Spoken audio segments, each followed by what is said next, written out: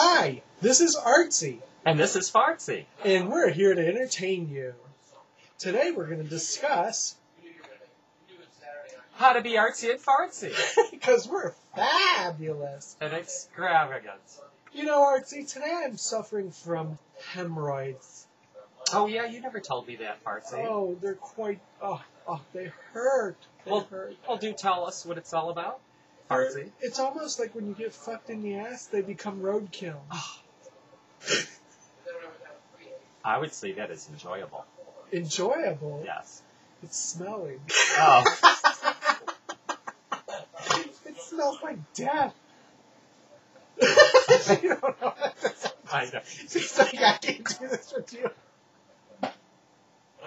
You talk gotta do some, it. You talk some nasty shit, bitch. Yo, Yo, nigga, what's up? what's up? well, again, you're on the Artsy and Fartsy show, And my hair goes this way.